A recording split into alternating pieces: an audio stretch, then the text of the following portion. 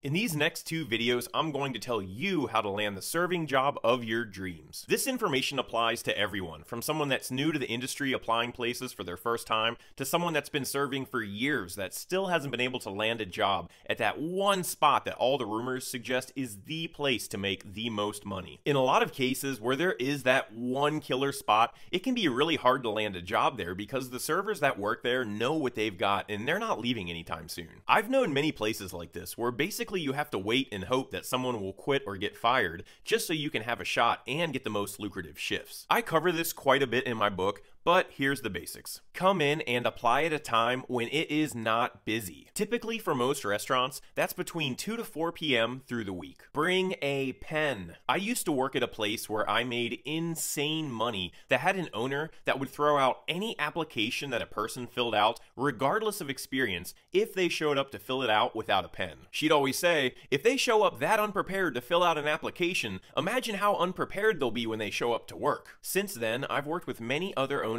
and managers that definitely agree with this. Do not apply while you're in the bar there getting wasted, or in the same vein, do not order a boozy beverage to have while you're sitting there filling out your application. I've seen this so many times, especially with experienced servers, which is kind of odd, and it's never a good sign. I've worked with more than one manager that would immediately toss any application they received in the trash without even looking at it if they saw the applicant drinking while they were filling it out. Dress the part. I'm not suggesting a formal dress or suit and tie unless it's extreme fine dining, but my god, the amount of people that come in to apply wearing flip flops, flannel pajama pants, wife beaters, I mean, it's crazy. If you're trying to land a six figure job, you should dress like you're applying for one. Put together a decent resume and cover letter. This is so easy nowadays. Google has has beautiful templates you can just modify and use. And please, for the love of God, run it through a spell checker. There's plenty of free services that offer this. Just Google spell checker online and tons come up. And that's pretty much it. In the next video, I'll cover how to blow them away at your interview.